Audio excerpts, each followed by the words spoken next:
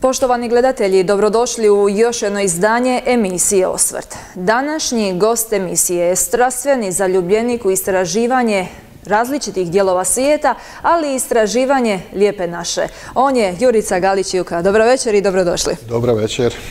Naravno, imamo nekako osjećaj, evo ja osobno da nema osobe koja nije čula za vaš YouTube e, kanal. Evo, trenutno je oko, čak i više od 40 tisuća pretplatnika. Je li vas i ova cijela ta e, priča i sam taj interes e, iznenadio?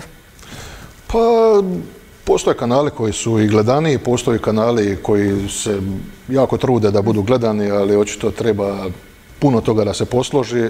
Iza mog rada prvenstveno nisam samo, grozim se riječi, ono youtuber, YouTube je samo format na kojem ja objavljujem svoj dokumentarni ovaj, materijal sa domaćih i stranih terena, ali jako puno truda tu leži iza toga i da radim neke stvari koje su možda prilagođenije vremenu, bilo bi tu i kudi kamo više pregleda, ali ono, sad se držim toga i držat se dokrate svoje priče, samo ono strogo, stručno, profesionalno, zabavno, educirano i zapravo s njima radim ono sve u što ja vjerujem. Da, pronašli se nekako svoj put, ali naravno objavljujete različite putopisne videozapise i zadnje evo što ste na svojoj Facebook stranici objavili, piše ljepota je u malim stvarima. Bila egipatska recimo pustinja ili ipak jedno malo mjesto u Hrvatskoj, evo ovoga puta Zadvarje. E, I ono što ste istaknuli, meni osobno zanimljivo, isto tako bitna je ona emocija.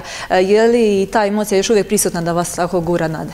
Da je prisutna, nego ja što sam stariji, to da će sve taj žar veći ponekad se osjećam kao da je to zapravo moje poslanje, ne nekako ja to ne držim poslom, jer da je to posao, ja ne bi, ja bi, ne bi bio normalan čovjek da to radim. To je toliko truda, ja kao ustanem, pišem, pišem tekstove, radim, e, snimam, montiram, kad sam na terenu donosim materijal, slažem sam svoja putovanja, slažem sve. To je toliki trud koji nije recipročno isplativ u konačnici, ali ono duhovno, to je neopisivo. Tako da u biti taj žar je kod mene sve jači i jači, ja ne znam, na kraju će eksplodira kao bomba, ovaj, ja sam u biti sve luđi i luđi što prolaze godine. Dakle, to je jedna baš emocija čista. Da, ali kako birate same lokacije? Koliko je ta priprema traje za odlazak na jedno mjesto, recimo u inozemstvo? Pa evo, u početku je bilo, počeo sam putovati, kao što znate, ono, ko navijač, da, mm ko, klinac. Nakon toga sam počeo putovati, ono, ne znam, s prijateljima, s nekom bivšom djevojkom prije ovaj, ono, odeš negdje idem vidjeti London, pa negdje obiđeš to, je klasično ono, turistički, ali zadnjih deset godina putujem ono baš, što se kaže, profesionalno. Tako da ovaj, to moje putovanje ima počelo prije deset godina i to je baš onaj hardcore gdje sam ponio fotoaparat sa sobom i ostalu tehniku i gdje razrađujem sve ono precizno što ću vidjeti. Ovaj, sama, sama ta priprema traje, traje jako dugo. To ja evo sad za Sudan se pripremam već mjesec dana unaprijed. Tako da je ogromna, tu je ogroman trud, ogromna logistika zapravo stoji iza toga svega. Da, eto, sljedeća točka je znači Sudan, ali evo da se vratimo na sam početak cijele priče. profesionalni ste fotograf, bili ste na navijačkim redovima, pa kako su ta putovanja jednostavno ušla na sam popis evo, vaših svakodnevnih životnih obveza, planova i tako dalje? Najčešće je ispričana crtica iz mog života. Ja kao dijete sam bio klinac koji ono gutao te nekakve serije, filmove, dokumentarne i to i to mi je bilo super, na tome sam odgojen. Ka, i svaki mulac u ovom Splitu većina u nekom svom pubertetu sam postao onaj navijač Hajduka i godinama sam išao i na te utakmice, Doš, došla je period nekakvih i gostovanja i na tim gostovanjima možemo reći neki inozemnim što i domaćim, da sam se prvi put zapravo susreo s putovanjima. Eto, ono paradoksalno malo zvuči, ali zapravo ono, taj navijački pokret je zapravo bio moj prozor u, u, taj nekakav svijet putovanja. Iako ja ne putujem samo da bi putovao, ja putujem da donosim priču i, i zaboravio sam malo prije kako ja letim iz misli u misli posao. Sljedeće putovanje koje sam odabrao zapravo po unutarnji osjećaj. Bilo, bilo pitanje kako odabireš. Dakle, ja u zadnje vrijeme odabirem samo po osjećaju. Kao osjetim da je vrijeme negdje za ići, ja idem. Tako sam zadnji put trebao ići u Peru ponovo, osjetio sam, ne znam, da nije vrijeme za Peru i pozvao me Egipat. Sad iz Egipta idem u Sudan. A sad ćemo se vratiti pa na navijače, mm skačem, ovaj, ali dobro sam se sjetio što sam ti reći, to je jako bitna informacija po osjećaju. Mhm. Dakle, ovaj, iz tog nekog navijačkog svijeta došlo je to vrijeme laganog putovanja, onda do nekog profesionalnog putovanja, ali eto, moguće je i od navijačkog svijeta da se, da se krene, da se savoli. Pardon. da se uzme prvi fotoaparat pa da osim same neke navijačke tribine slikaš neku katedralu, ko što se meni dogodilo, ne znam, mislim u Budimpešti, oh, super je fotografija, ajmo kupi fotoaparat, kupio neki prvi diot i tako je zakotrlja se ta priča koja je krenula prije 15-20 godina, a ponavlja se prije 10 godina krenula profesionalno. Mhm, da, kao što ste rekli, to je ta crtica koju najčešće i medijima ispričate nekako uvodu u cijelu ovu priču. Naravno, je li ovo prisustvo u navijačkim redovima eh, na neki način vas i pripremilo za sve ove opasnosti koje se i nalaze eh, u svim tim različitim eh, putovanjima? Jer ipak na neki način kad tako čovjek često putuje, ima isto tako osjeća da je na neki način i glava u torbi. Pa možemo reći da me izbrusilo kao čovjeka, možda u nekim situacijama, ali nikako nije pripremilo na, mhm. na opasnosti putovanja, jer vi ako ste neodgovorna osoba, stradat ćete koliko se god vi pripremali, jer u zemljama Latinske Amerike i u nekakvim favelama, ili negdje se ja ne zalazim u favele, me to interesira, ali ako ćeš ti tražiti problem, negdje, ne znači tvoji mišići, važe ili ne znam, navijački staž, u bilo kojoj od, od tih država. Tako da prije svega je trebalo poraditi nešto sa samim sobom, sa svojom glavom, sa svojom sviješću da bi ti uopće mogao kontrolirati sebe. Kako kontroliraš sebe, nam možeš kontrolirati situaciju. Mhm. Tako da otići u, ne znam, Belize, Guatemala, Honduras, Salvador ili negdje neke zemlje Afrike, možete sasvim dobro proći, vjerojatno ćete lijep, proći super bez ikakvih problema, ozljeda, bez krađa, a isto tako ako dirate u osinjak i ako se ponašate neodgovorno, možete vrlo lako ostati ne bez materijalnih stvari, nego i bez života. Da, ona jedna stara izreka kaže suda pođe, ali kući dođi. Zapravo vi se uvijek vratite u svoju e, Hrvatsku, ali koje biste možda zemlje e, isto tako i nekoliko puta posjetili, da su ostale jedan jak utisak na vas? Pa ja sam najsretniji u biti kad mogu obući, ne znam, e, nešto kratko ili neke japanke, nešto, dakle volim te trope, pogotovo još ako mogu izveći te malarične komarce. Ovaj, manje sam, naravno, volim svugdje, pogotovo privlače me zemlje gdje su ostaci neki drevni civilizacija, to mi je ono, apsolutno nešto što me privlači, ali i snimani običaje, ljude i zajednice i tako te neke stvari, mhm. ali ovaj, trop, definitivno toplina mi draža ne, hladnoća i to je možda jedan od razloga za to ono što sam čovjek s Mediterana i Splita i to je mjesto Split ili Dalmacija, ono, gdje, gdje sam rođen, gdje, gdje želim ono, jednog dana umrijeti. Jel? Tako da ovaj, svuda pođe, kući dođe, definitivno krilatica s kojoj se slaže. Da, naravno, svojim pričama, svojim videozapisima e, svakako čuvate određene priče, posebno priče Dalmatinske zagore, pa starih običaja, da nekako to ne padne u, u mhm. zaborav. Jer toga se uvijek nekako bojimo kako dolaze nove generacije, hoće li to sve zaživjeti. Ali kakva je ta podrška oko svih tih videozapisa koje oblikujete, koje objavljujete, postoji li podrška i što smatrate da u bliskoj budućnosti toga svega ima? E, podrška od zajednice je uglavnom klap, bravo, dobar si po leđima. Ovo ono što se tiče neke službene zajednice od bilo kakvih ministarstava državnih, nekih e, sponzora velikih, ja nema ništa. To mogu javno reći, dakle, ja sam se financiram svojim kreativnim radom. Dakle, snimanje ti nekih fotografija, e, YouTube kanalom, e, podrškom nekakvih Patreona koji su ljudi moji gledatelji pa žele pomoći u radu, nekakvim financijama, do pisanja za raznorazne časopise koji otkupljuju moje radove u pisanom i fotoobliku. Dakle, samo financiran sva putovanja. Nikome ne pomaže, ali iz toga ima nekakvu svoju neovisnost, slobodu izražavanja, tako da da radim možda za neku novinu fiksnu ili za neku televiziju, poslali me s njimi, ne znam, karneval u Samoboru, što je jako super ili to, ali ja sam, možda meni duša htjela otići u Sudan ili ne znam, u, u Istru, jel? Da. Tako da dvosjekli je to mač.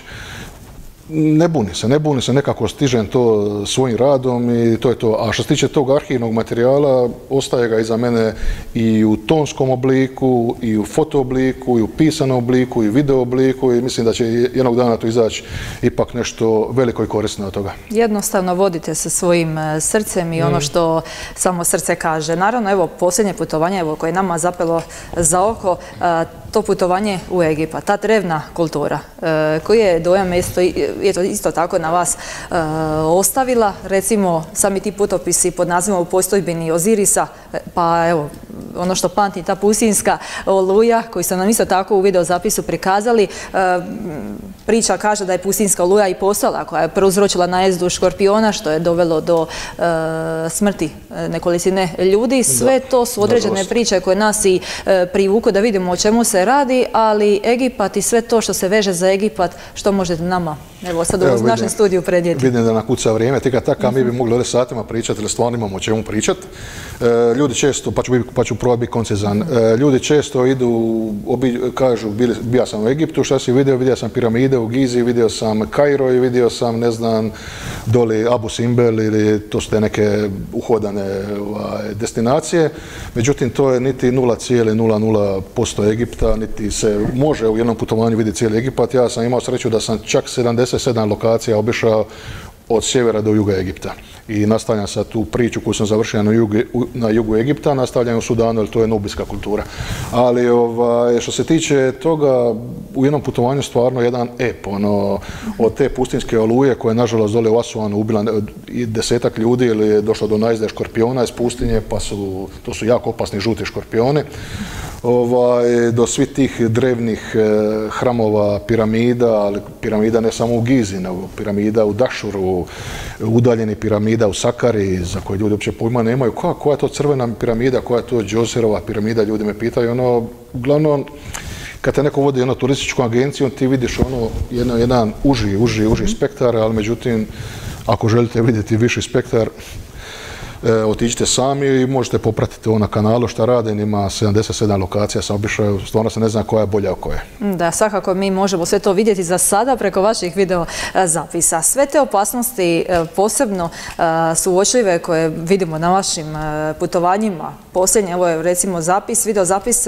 koji je orijentiran na zapušten vojni kompleks JNA pod zemljom. Tu čak nisam niti stavili koja je lokacija u pitanju, objasnili ste. Mhm. Zašto? Pa recimo napušteni rudnik kod Sinja, sve to privlači poglede, kao da pogađate zapravo srž e, e, e, što treba prikazati, što privlači poglede možda vama osobno, a očito i nama svima ostalima, jer pregleda ne nedostaje.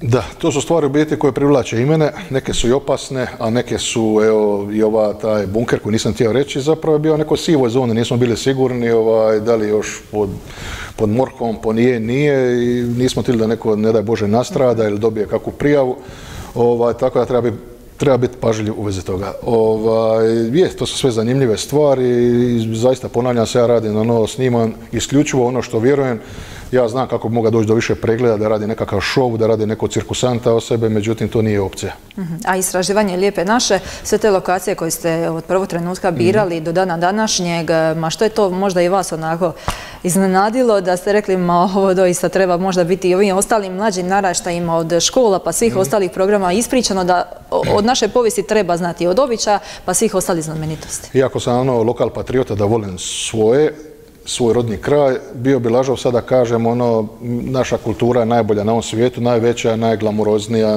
najmonumentalnija, jer kao vidite jedan Egipat ili Mezopotamiju, to u ovom dijelu svemira se ne može ništa usporediti jedne kamoli, ovaj, kamoli ne znam u Europi ili u ovom dijelu svijeta. Ali ne smijemo zaboraviti da je naša kultura isto jako zanimljiva i među među najzanimljivijim zemljama možda na svijetu od povijesti, od gastronomije, od prirode, od položaja geografskog, od e, samih ljudi koji u konačnici, koliko god mi bili kritični sami prema sebi, mi nismo loši ljudi. Ja sam upoznao dosta i dobrih, a i loših ljudi i svakakvih i nismo mi toliko ni iskvareni, ni materijalni, ni ovi, ni oni, koliko mi sebe sotoniziramo. Ovaj. Tako da naša zemlja je jako lijepa, jako interesantna i uz to tu je ta nostalgija moja neka lokal patriotska, ja volim snimati sva ta sela, sve te običaje, a osim toga evo sad zadnje vrijeme snimamo, u Omiškom zaleđu, sva ta sela, pa to se ne zna koje interesantnije selo od kojega. Od Kučića pa nadalje do Svinišća, običaj, gastronomija, kućički bubnjari, špica, ona mhm. bravetina na špici, napjevi, crkveni običaji, a takvih, to, smo se uhvatio sam se te ne mikroregija. Sad zamislite cijelu Hrvatsku. Ja zaletim se ja tu i tamo naravno na sjever, iću u Istro, iću u Rijeku, brzo je to sve. Naravno, ovo mi je bliže pa mi je lakše. Cijela Hrvatska je prelijepa, prezanimljiva. Tako da ima tu materijala da ne ide nigdje vani ovaj, samo u Hrvatsku. A naravno da ću ići van, jer nisam samo duša mi hoće malo šire, ali jako zanimljiva, ne smijemo zanemariti i ne smijemo misliti da naša zemlja nije zanimljiva, trebamo ići na Maldive negdje da nemamo ovdje što vidjeti. I tekako. I tekako ima. I tekako. Vas osobno vodi ta e, emocija, znati želja, ali koliko, evo, recimo da uzmemo samo temu, temu Dioklecijanovog akvadukta, koliko mi sami znamo o toj povijesti, evo, samog konkretnog grada Splita, a da ne govorimo o šire. Zanima li nas, no evo, u, razgovoru e, sa svojim poznanicima, pa što osjećate po tom pitanju? Odgovorno tvrdim da 98% žitelja grada Splita ne zna kuda prolazi kuda prolazi ovaj, rimski akvadukt, to jest dakle, tunel ispod Splita, a dobrih 70% uopće ne zna da postoje. Dakle, mislim da bi se, da bi, da bi to, to je jedna, jedna činjenica da imamo tako nešto, da bi to moglo biti turistička atrakcija svjetska. Ja sam u Vijetnamu obišao one tunele ratne ono, iz Vijetnamskog rata, pa sam se spuštao onaj tunel koji je kudi kamo i lošiji i, i manji, bio sam zgrbaljen cijeli, ovaj, zašto mi ne bi otvorili neku, neku dionicu, neki stotinjak metara, pa ljudi zavuču se, pa kažu, wow, pa ovo je 1700 godina staro, pa mi smo sad ispod zemlje, pa čujete ono kako prolaze gori auti, ono, pa neko korenje, onih biljaka, ono, a mi smo u situaciji da uopće ne znamo počivati nadležnošću to. Mhm. Evo, posjetili ste više od 70 država svijeta i vaš zaključak, promocija svih tih znamenitosti, blagodati koje ima e, Hrvatska, ma znamo li mi to isto tako iskoristiti, prezentirati, promovirati, prikazati to svijetu, sve to što mi imamo i što nam je ostavljeno u, samoj ostavštini, u tradicijskoj ostavštini. Na dobrom smo putu, promoviramo se dosta, već ljudi prije su dolazili, sjećam se Njemce kad bi došli ljudi sa zapada pa 70. 80. 90. ono došli bi, Split je bila jedna usputna stanica za neki otok, išli bi sa onim luv balonima, kako se kaže, ovaj, nije to bio takav tip turizma. Danas jedan turist moderni, on hoće vidjeti ne samo Split, hoće vidjeti Vrlik, hoće vidjeti Imotski, hoće vidjeti jezero, hoće se spustiti dolje, hoće provati nešto, hoće vidjeti nešto drugačije. Tako da ide to. Ljudi ko žele saznati, saznaće, a mi smo tu da, te, da ih informiramo. Tako da mislim da Hrvatska na dobrom putu da promovira ono što ima. Ima li možda oko, oko vas e, zainteresiranih e, prijatelja, poznanika koji bi rado s vama na put, a je li to uopće tako jednostavno da kada izraze želju da se tek tako uh, s Juricom mogu uputiti u neku pustolovinu života? Pa Kako s Juricom se može naravno ići bilo gdje i nema ništa protiv društva. Najproduktivniji sam sam jer onda nikog ne maltretiran, e, po 10-15 sati dnevno fotografirana snimanja, ja svijet gledam kroz objektiv i upijam ga, nije meni problem snimati i, shvatiti gdje sam, ono, ali ja strašno puno radim. Tako ko me može pratiti i koje slične energije može, ali ako će neko ići negdje sunča se pa da ga tražim ovaj, di je na plaži pa da kasnije na autobus za sljedeći grad, za sljedeću lokaciju, ne dolazi obzir, to mi ne treba u život. Može se, ali teško je danas obzirom ako da ja negdje 15-20 dana, teško je nekome dobiti godišnje baš tada da se prilagodi meni. E, teško je ovaj, financijski, budemo realni, spojiti tu konstrukciju jednu. Ovaj, ja sam našao način svojim radom kreativnim, ali nema svaku tu mogućnost da ulaže neku svoju energiju, da ostvari taj jedan ekstra prihod da gura te svoje snove. To su rijetki ljudi koji tako mogu, ali išao sam na putovanje s nekoliko ljudi i sa nekim grupama ljudi, sa svojom suprugom. Evo, prije samog našeg razgovora u studiju spomenuli smo e, i temu predrasuda. E, te predrasude u vašem zanimanju, u vašim ovih putopisima, ma je li ih bilo prije e, početka snimanja, prije ovog ulaska u ovaj pustolovni svijet putovanja, recimo sva vaša i životna priča, bili su u navijačkim redovima, te to važe su tu prisutne. Mhm. I recimo, očekuju li ljudi od vas da će dobiti jednu edukativnu e, crticu, e, e, zanimljivu željnu pogleda i da nešto tako korisno ga mogu saznati iz vašeg grada? Pa meni je kolega, prijatelj mi se kolega sam po formatu YouTube-u, Branimir Kamber, nedavno rekao, a kaže, s onim njegovim zadarskim naglaskom, pa prijatelj Jure, pa ja znam ko si ti, šta si ti, ali dosta ljudi ne zna dosta ljudi ne zna, evo recimo spomenja nekoga XY, da se ne spominje, kaže, on kad, on, prva, prvo je njemu, njegova, njegova vizija tebe kad te vidi, te to važa na vratu, ovakav, čela, ovo ono, on ne vjeruje, jednostavno nije mogao vjerovati dok nije uključio kanal da ti uopće razgovaraš, on bi će mislio da ne znam, da si, da si neko biće koji uopće ne zna razgovarati, a kamoli da će ti pričati o egipatskim faraonima 26. 27. 28. dinastije, o ulozi svinge, nubijske kulture ili nečega, evo, će mogu pričati sa sveučilišnim profesorima.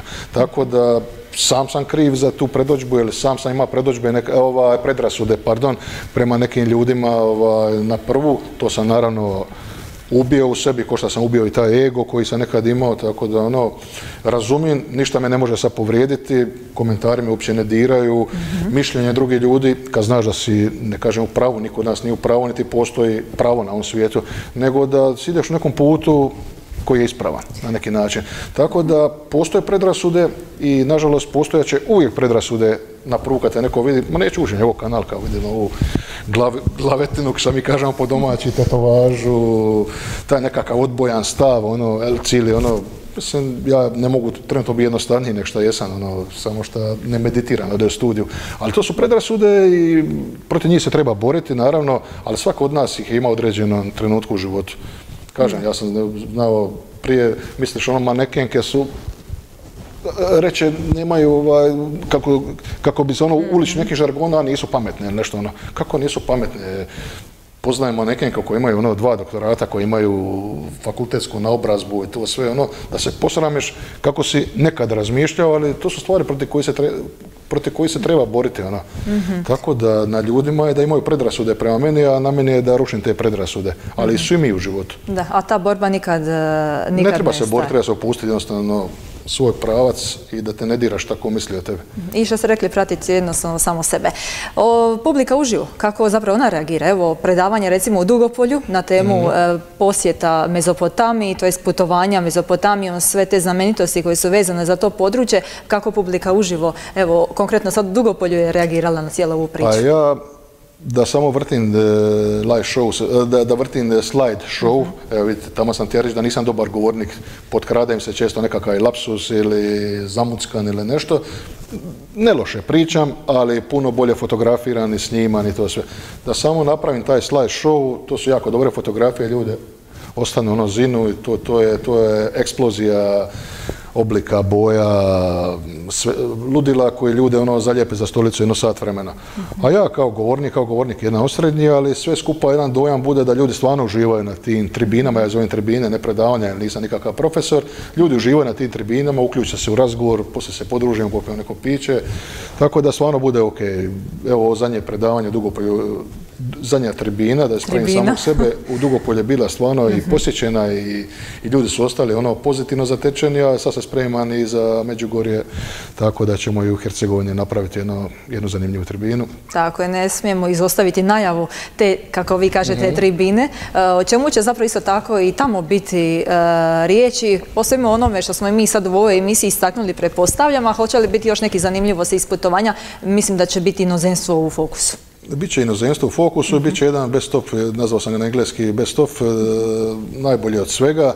Zadnjih deset godina jedan presjek, jedan rezime mog djelovanja zadnjih deset godina, tako da ono, jedan šlag, ono, sjesti uživati bez puno neke mudrosti, neke najzanimljivije lokacije, najzanimljiviji događaj, ono, baš za opuštanje. Neto, nećemo otkrivati detalje, ali možemo li nešto ovoga puta u samo toj najavi e, tribine i tog da kažemo možda i predavanja, mi, ćemo možda taj izraz mhm. upotrebiti, ali e, što će možda biti ono najzanimljivije u tome e, što će prisutni moći čuti? Čisti hedonizam od špilje Hangen, jedne od najvećih špilja na svijetu, u Vijetnamu preko Pripjata, Černobila, E, pustinja, uskršnjeg otoka, raznoraznih e, egzotičnih lokacija, raznoraznih nekih situacija i zanimljivih i možda opasnih i jedan ono hardcore užitka. Da, i što kažete, e, publika zapravo na tim tribinama, e, što i posebno možda privlači? Taj vaš domaći pristup, taj kada se znamo već sto godina mhm. i uz te sve teme koje ćete naravno istaknuti, sva ta putovanja, jer kad čovjek nije nikada to vidio uživo, normalno da ga privlači i jedva čeka čuti nešto e, novoga, mhm. nešto možda zanimljivijeg od ovoga što se sad oko nas nalazi ova pandemijska situacija i jedva čekamo povratak u, staro, staro normalno. Prije emocije zapravo ta moja iskrenost. Ono. I nakon toga onaj šok kada shvate kad su probili tu, tu, tu razinu, tu barijeru predrasuda i oni su se zatekli, stoji neki ono glavonja za stolicom, njima na stolici za stolom koji će njima pričati o nečem.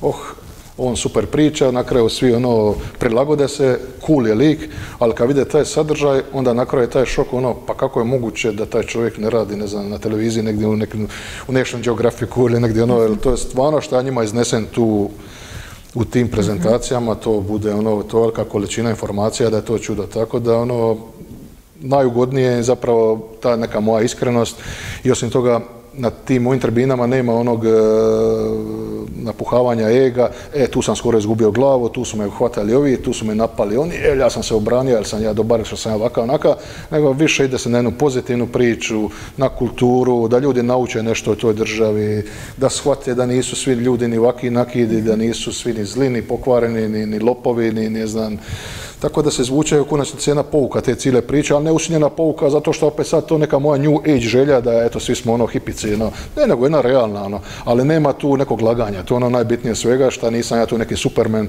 nego praktički i vi i oni i bilo ko da dođe na tu tribinu kaže sebi, e pa to mogu i ja, ono, ko on. Dakle, nisam superman, nego jedan od njih i to mi bude super u tome svemu. I da se vratimo na početak e, vaše ove zanimljive životne pustolovine, proći ovo sve, sve te izazove, pa vjerojatno niste ni očekivali da će istraživanje e, različitih dijelova svijeta biti vaš e, životni poziv i dokazujete li možda životnom svojom pričom da je doista život nepredvidiv?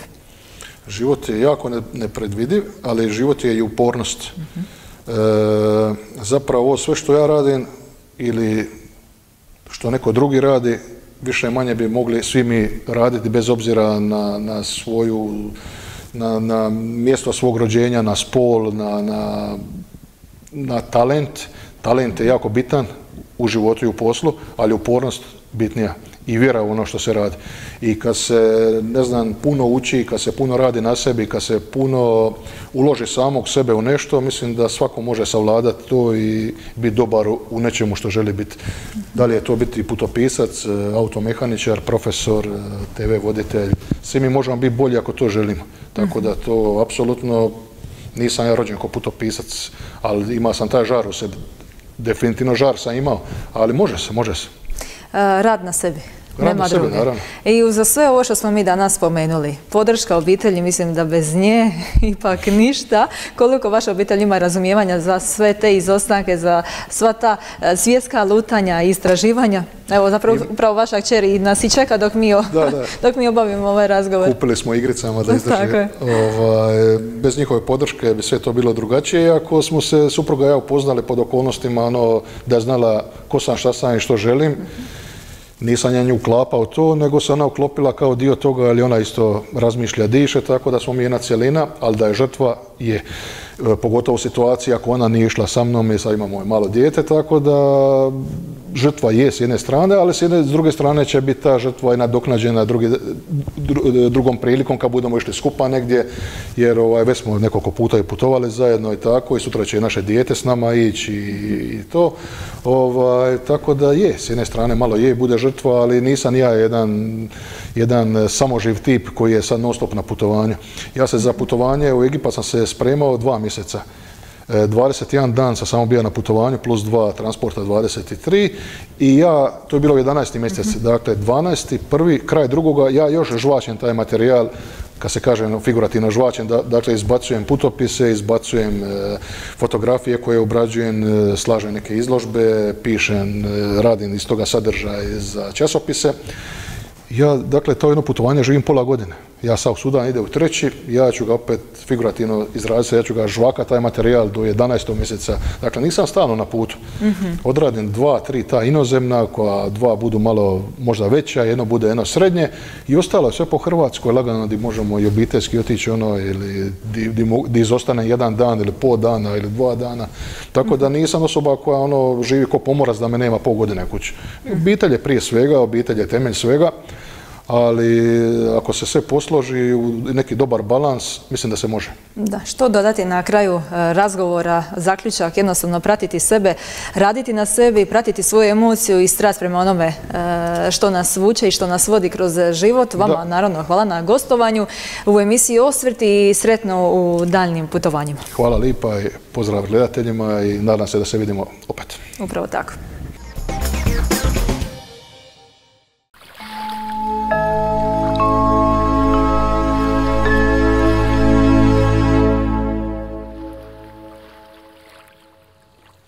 Ključ Ekspert, kralja Zvonimira 103.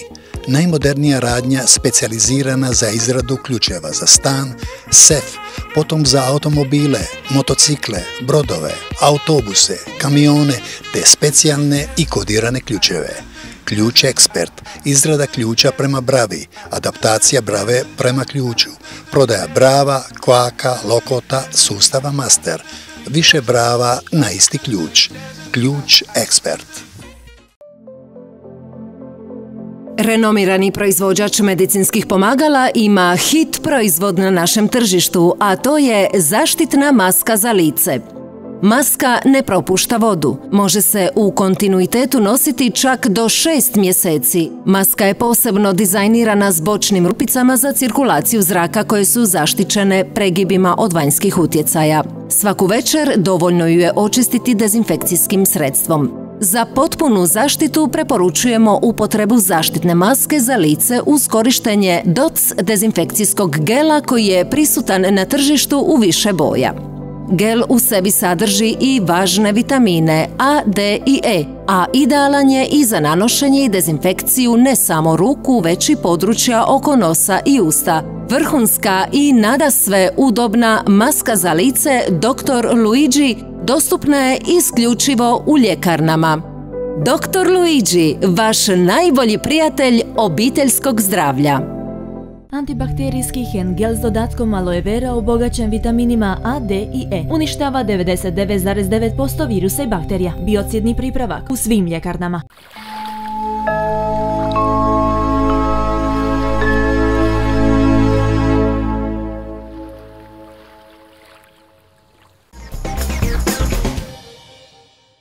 Poštovani gledatelji, polako smo došli do kraja još jednog izdanja emisije Osvrt. Gostovao je svjetski putnik Jurica Galić-Juka. Do sljedeće emisije, lijep pozdrav!